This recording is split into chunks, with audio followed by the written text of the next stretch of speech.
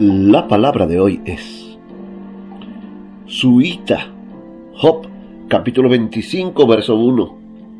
Gentilicio aplica a uno de los amigos de Job. Fueron pues Elifaz Temanita, Bildad Suita y Sofar Naamita.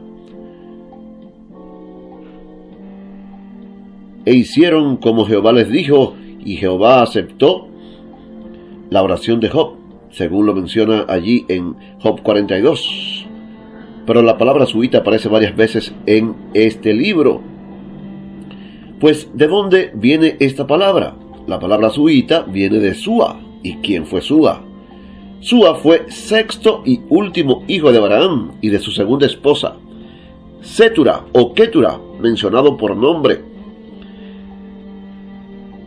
Abraham dio dones a Sua y a sus cinco hermanos y los despidió de su casa y los envió hacia, según Génesis capítulo 25, versículos 1 y 2 y 5 y 6. Algunos creen que sus descendientes, los suitas, vivieron a orillas del Éufrate entre dos de sus influentes o afluentes, el Bali y el Jabur. Bildad, el compañero de Job, es el único suita que se menciona en la Biblia donde dice, y tres de los amigos de Job, Elifat, Temanita, Bildad, Suita.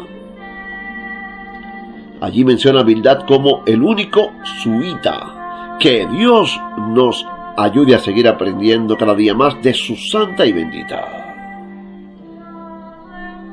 palabra.